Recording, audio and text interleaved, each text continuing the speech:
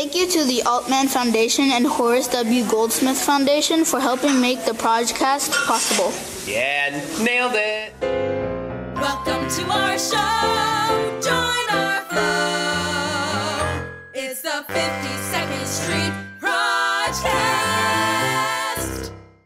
From the heart of Hell's Kitchen, this is the Projcast, a podcast created by the community at the 52nd Street Project. We're a nonprofit in New York City that partners the young people of Hell's Kitchen with professional artists to create original work that is then offered free of charge to the general public. I'm John Sheehy, Director of Institutional Advancement for the project.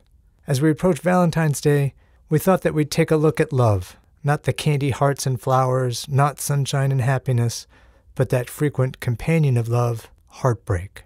First up today, we have a radio story created by former project member Tiniah during last year's radio making program. Radio making, as you may recall, introduces older project members to the art of storytelling through audio. The pieces are conceived, created, recorded, sound designed, and even performed by project members with support from adult volunteers. In Tiniah's piece, she's the host of her own podcast, Now This Is Living. And for her show, she interviews project volunteer Sam Dash and our own Associate Artistic Director Kat Amoranez about their experiences with heartache. This is Tiniah, and this is my podcast, Now This Is Living. I'm extremely excited to have the opportunity to do this. I've always wanted to make a podcast, and I've been a very big fan of them. First, I'm going to tell you about myself. I'm a senior in high school, so that is really exciting. Looking forward to college has made my senior year a lot easier. I'm from Hell's Kitchen, Manhattan, where I have the best community within my theater program. I've been a part of it since I was nine. I am in the last program called Teen Ensemble, which has been great. It's been really fun creating with some of my closest friends. Although I have a lot of wonderful things going on in my life, these past few months I went through a tough time in my life. I went through heartbreak, and it quickly led to depression. Before I get into that, I want to tell a quick story. When I was in middle school and the beginning of my high school career, 9th and 10th grade, I was always, you know, this bubbly person. I didn't really take myself too serious.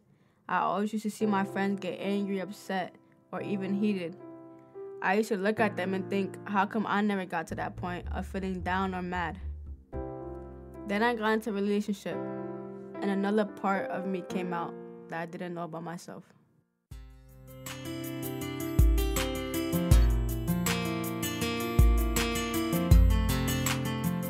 Next, I have in the studio is Sam Dash, the one everyone adores, even though he separates me from my friends in rehearsal.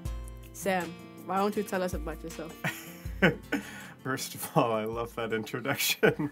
Thank you. Um, uh, what do you want to know? Anything about yourself? What do you Okay. do? Um, I'm an actor. Okay. Uh, I just graduated from the NYU graduate acting program about a year and a half ago. Yeah, kicking it in the Big Apple, originally from Boston, Massachusetts. And uh, My family's from Boston. Yeah, no, I remember we, we bonded over that early on. Yeah. Um, but yeah, I've been in New York about 11 years now. Okay. um. Is that enough? Yes. okay. First things first, Sam. Yeah. Have you ever been through heartbreak? Yeah. I think if you're human, you've had your heart broken. What was it like for you?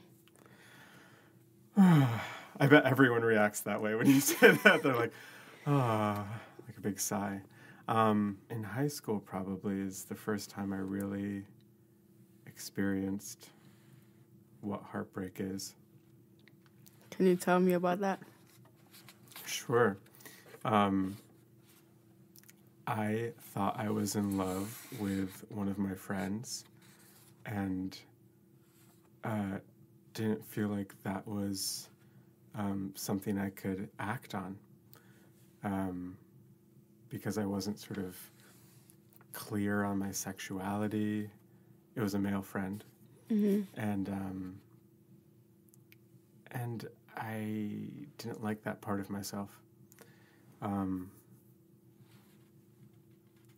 and I just found myself sort of, you know, lying on the floor of my bedroom, sort of like, woe is me, or driving in my, you know, dad's car around Boston, illegally probably, um, underage, uh, just because I, I didn't know what to do with myself.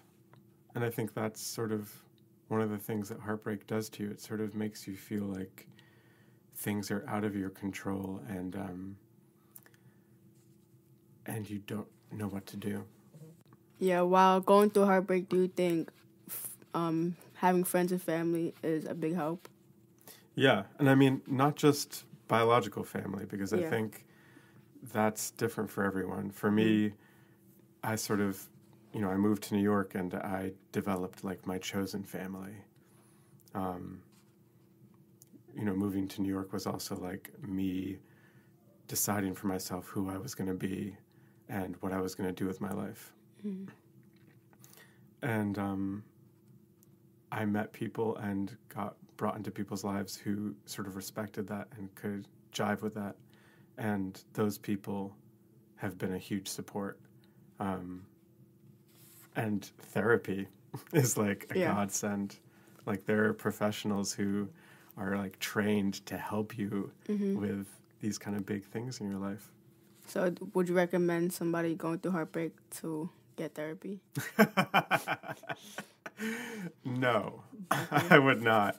I would suggest therapy is great if you feel like you need someone to listen to you and someone to help you figure out your feelings and what's going on in your life. Um, but I wouldn't actively seek out heartbreak.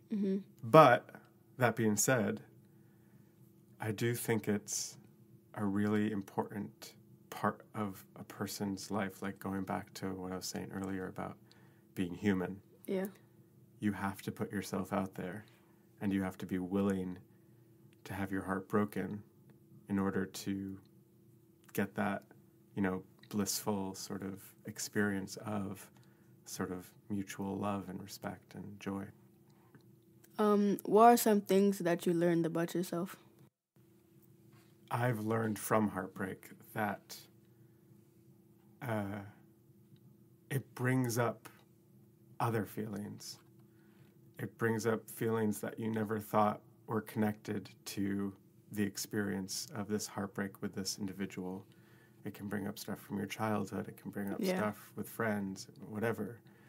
Um, and sometimes that's hard to manage. Like the other stuff that uh, gets brought up from heartbreak. Uh, I think I've learned that nothing is permanent, everything is temporary. Yes, sir. um, like, sort of, this too shall pass. I've heard that a lot. Yeah. I mean, and when you hear it from someone who's like giving you advice about heartbreak, you're like, screw you. Like, I don't need to hear that right now. or, or um, it it takes time. Yeah, yeah, yeah, yeah. Like all those sayings and stuff, like people can say everything in the book to you and you'll still be like, screw you. You don't know what I'm going through. Yeah. Like, I feel so alone. You don't understand me. Um, but chances are they've gone through something Yeah. similar. It's just people don't really kn- know what to say in those situations Yeah. to be helpful.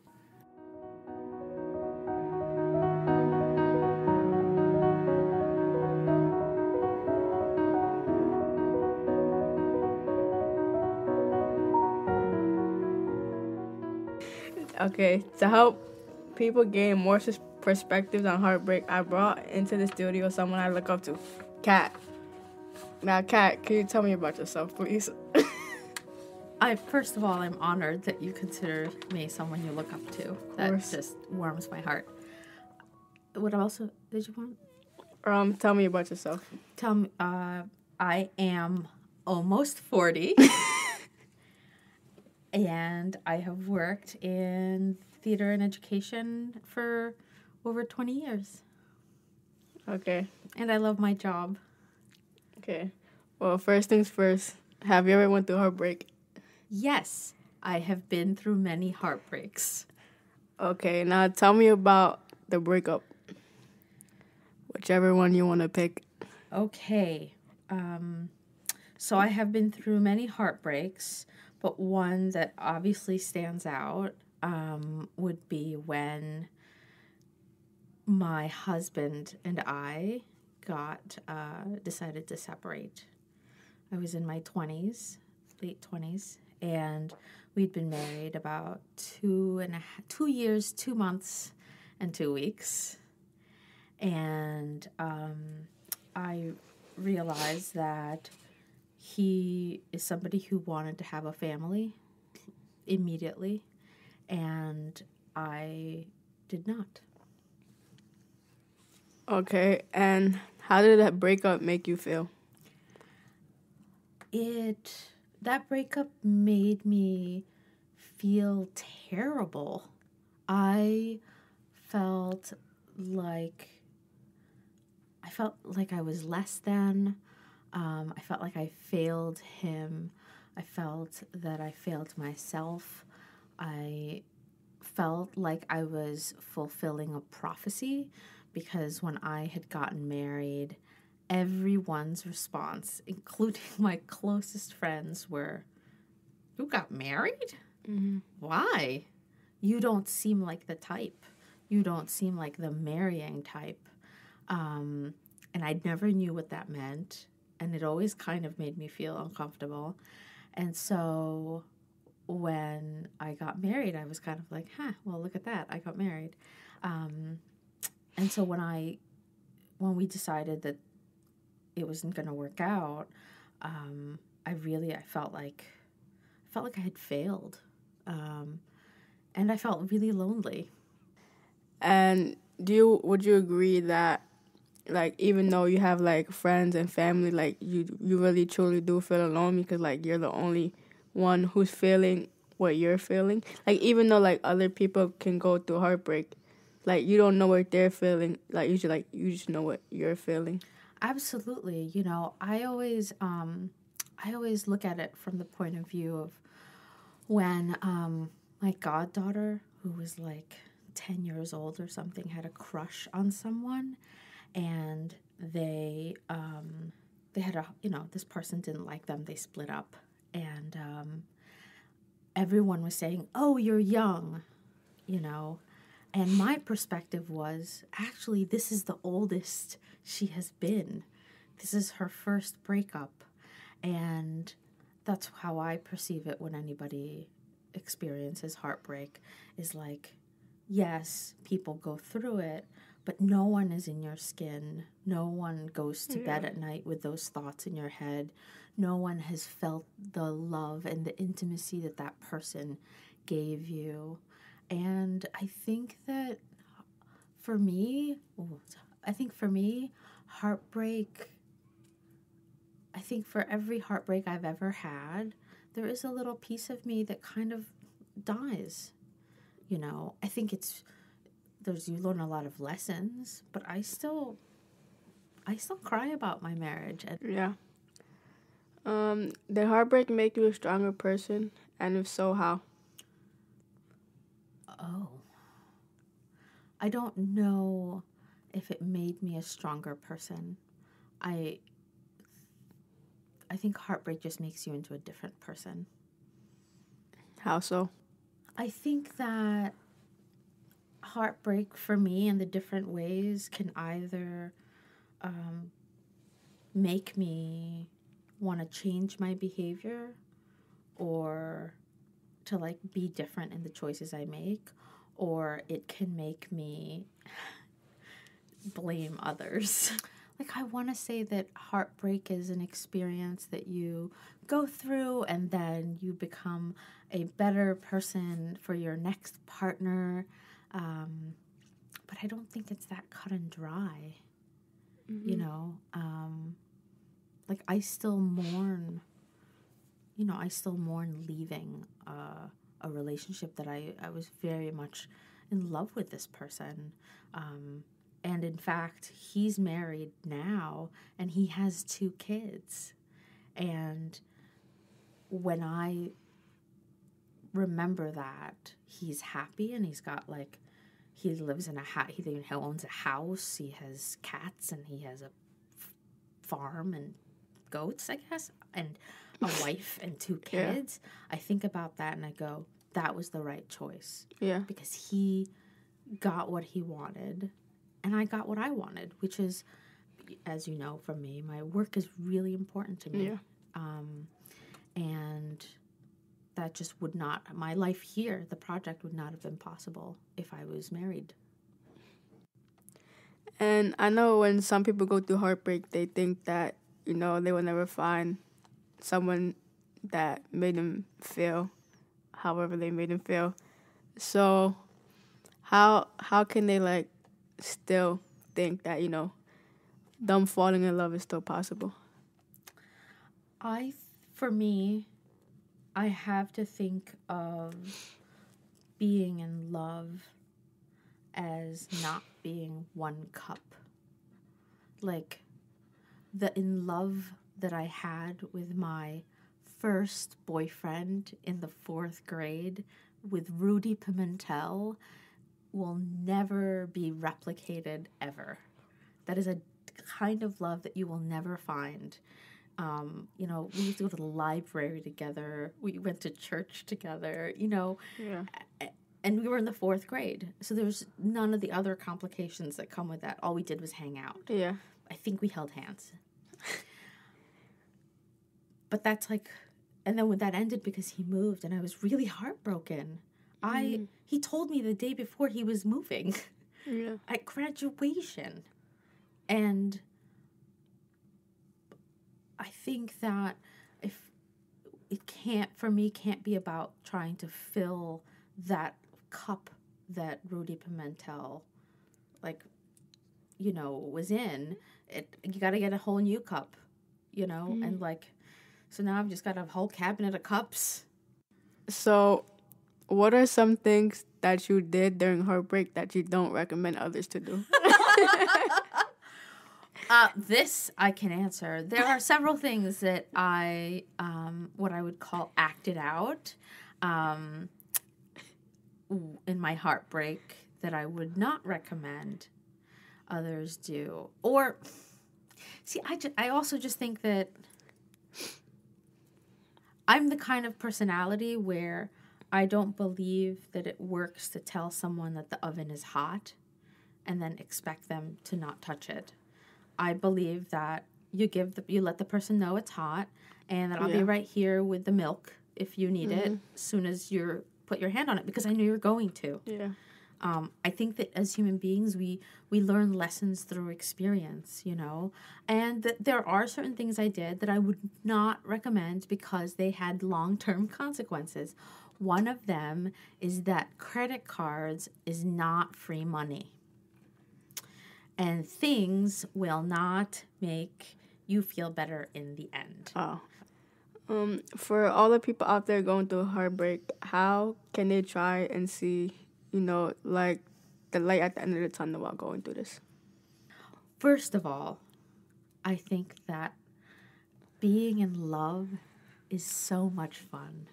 And I would encourage everyone to fall in love, knowing that it will, you know, there's a possibility of heartbreak at the end. Okay, so you think being in love is worth it, even though Absolutely. Being in love. I disagree, but Being in love. Being in love is so much fun when you're in it. yeah, It's so much fun. It's great. I mean, it does. It's a little bit challenging when like you're out of the in loveness and you're reflecting on it and you're like, was that in love or was that like me just being insane? like, um, I've done really some ridiculous things for love, um, but I've also done some really amazing things for love. Like, I when I'm in love, I I bring out this person inside me that is really super giving and doesn't want anything back comes out. Um, I was a real. Was- Let me tell you, my last long term relationship, my gift giving, like, was amazing, amazing. I want to be in a relationship with me, um, for real. just for those gifts. Um, I do think it's worth it, but uh, it does come with, you know, what life comes with, which Yeah. is heartbreak. So you think it's it's it will work if you spend some time by yourself before getting into another relationship?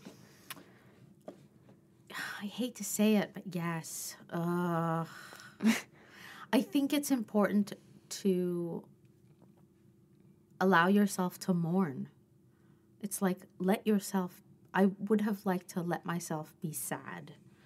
Um, I think that one thing that I have learned in my lifetime is that sad is not forever. And I think when I was, whenever I've been in heartbreak, you always feel like it's going to be forever. And I would act out of fear. And so I would try to find something to get me out of that feeling as soon as possible. But, you know, in the times that I have managed to sit down and reflect on that relationship, it has really taught me more about myself, you know, and patterns of behavior. At what point did you think to yourself that I'm actually over this and I'm happy? I I don't think I will ever be over my marriage ending. In fact, right now I'm trying to prevent myself from crying. Yeah. I'm going to stare at this light in order to do that. Um, I don't think I will ever be over mourning the end of my of that relationship. But I am happy. In fact, this is the right now in my life, this is the happiest I have ever been. It is um, the most authentic I have ever been. It is um, I am the most fulfilled but that's the thing about the human experience is that you can be happy and feel sad at the same time you can go on with your life and still feel a little bit broken um, i think that it allows i know this is probably not what you want to hear Mm-hmm. but i will say it anyway but your heartbreak is going to help someone else someday.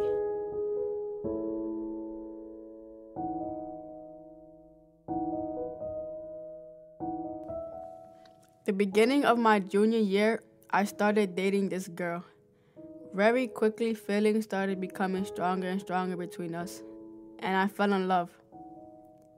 I was with her for close to a year, and there was a lot of blissful moments, but a lot of rough moments as well.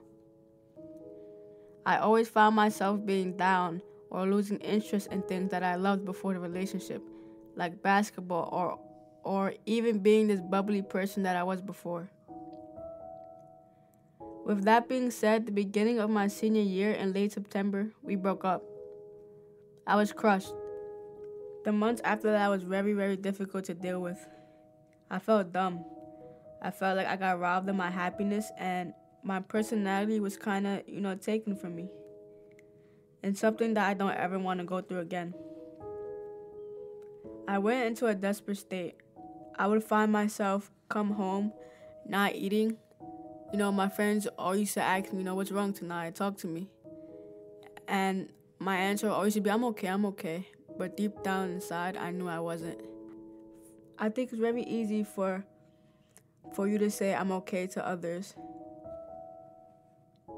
and to know that you're not okay. Because, you know, you don't want to be a burden to people. You don't want to mess up their happiness. So, you know, you just keep your feelings to yourself and kind of suppress it. You know, I remember this one moment where I was in school and it was toward the end of the day. And, you know, throughout the day, I felt my heart and, you know, it was real, real, real heavy. And I had like this pit in my stomach. So, you know, I went to my teacher that I was pretty close to. And I just broke down. I was very fortunate enough to have some of the best friends to, you know, have a shoulder to cry on, literally. And just people to speak with. But I think the worst part about heartbreak is no matter the friends or family you have, you truly just feel alone. I think what helped me get out of that desperate state and to start moving forward and to be happy is simply letting go and believing, you know, you will get over this. The advice I got was it takes time. And it's so true. You know, when somebody tells you that advice, you just want to say, screw them, you know. But as you go through the heartbreak, you realize that it's true. Like, it just takes time. Take time for yourself. Go out with your friends. Throw yourself into so much stuff and, you know, just keep busy. And putting it into perspective that there are so many people out there and you have your life ahead of you to feel so many things. I want to read a quote. It's by Ben Higgins. It says, I think vulnerability, authenticity, genuineness, and that rawness is attractive to so many. I think it's very rare that we're able to share those moments together. So as a result, no, I don't think it's depressing. I actually just think it feels like life.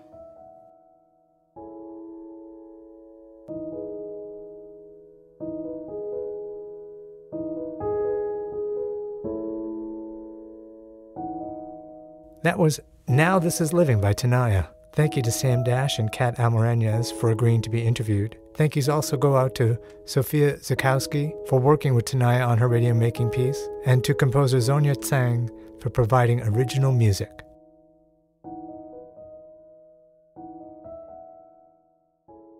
And if music be the food of love, we'll play on.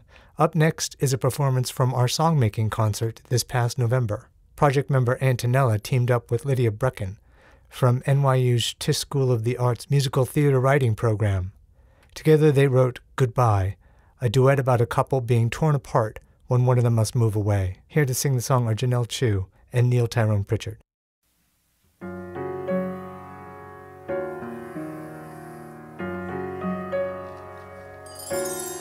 It's hard to say goodbye to the person you love. She looked me in the eye, but she didn't say goodbye. I saw tears in her eyes, but she tried not to cry. Goodbye,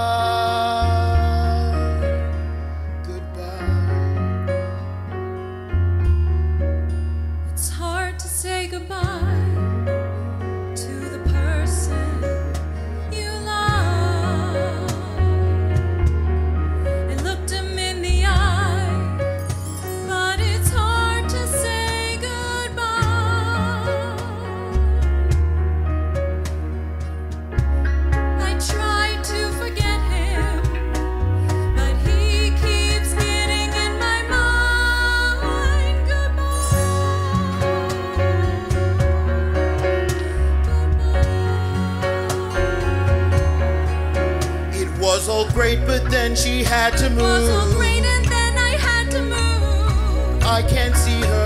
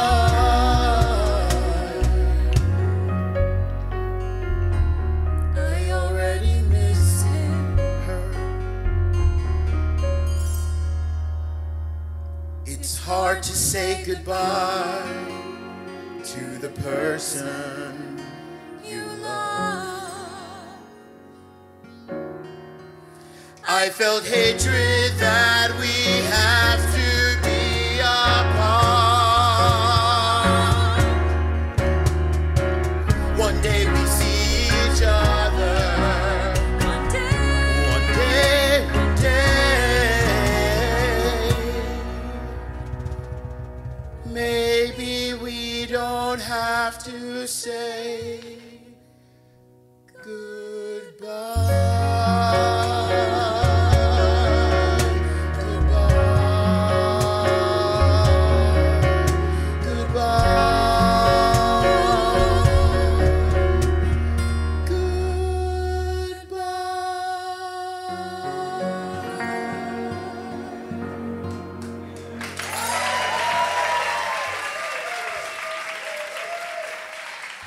That was Jenelle Chu and Neil Tyrone Pritchard performing Goodbye, with lyrics by Antonella and music by Lydia Breckon.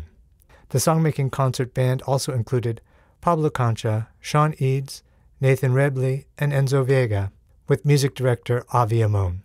We would also like to send out special thanks to Berklee NYC at Power Station and Matt Soros and Ryan Nava for recording these songs for us. If you want to hear more songs from our songmaking program, while also financially supporting the 52nd Street Project, we hope you'll consider attending Game Changers, our gala on Monday, May 4, starting at 6:30 at Capitale here in Manhattan. This year, we're celebrating a couple of key players at the project, Crystal Dickinson and Brandon Dearden, both of whom have performed with us. The gala will feature playful songs with lyrics written by our songmakers. For inquiries and reservations, contact info at 52project.org. And now for the credits. The project members featured in this episode were Tiniah and Antonella. The adult volunteers featured in this episode were Sam Dash, Lydia Breckon, Jenelle Chu, and Neil Tyrone Pritchard. The podcast theme song was created by Justin and his smart partner Eric March and performed by Marinda Anderson, Rebecca, and Nicole. The project logo was created by Iris Brown. Follow us on Facebook, Twitter, and Instagram. Just search the 52nd Street Project and look for 5e and 2e in our logo. The 52nd Street Project is supported by public funds from New York City's Department of Cultural Affairs and the New York State Council on the Arts. The 52nd Street Project is a nonprofit organization, and we're able to do what we do because of generous folks like you. Please go to our website, 52project.org slash donate to check out how you can support the project. Every little bit helps. Our next playmaking production, Smoke and Mirrors, The Tricky Plays, will be March 20 to 22, so grab your free tickets today. And again, if you're interested in this year's gala fundraiser Game Changers on Monday, May 4, please contact us at info at 52project.org and you can visit www.52project.org for more information. We'll be back in your feed next month with a new episode of The Projcast.